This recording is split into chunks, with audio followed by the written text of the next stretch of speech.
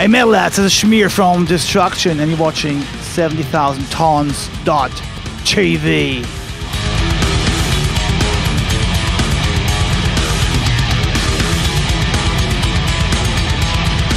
I think it's an amazing experience. Everybody asks me, of course, how is it, you know, and how was it? And uh, so we've been having a lot of drinks at the bars, and you know, you get invited, and we throw some rounds. So uh, for me, the big highlight to be with the fans and the friends, and we all were just hanging out. And I think the idea was great to get all the musicians together for a jam, but I didn't believe that it's going to happen first of all because it's not so easy. You know, like what kind of songs to play, and uh, you know, if you don't rehearse and if you just jam, it's like you put your pants down, you know, basically. So it was great to see that it happens in the end, and uh, it was great fun to do. I think the response of the crowd was good. I mean, a lot of people were there, and uh, I'm sure like normal cruise ships must be fucking boring, you know.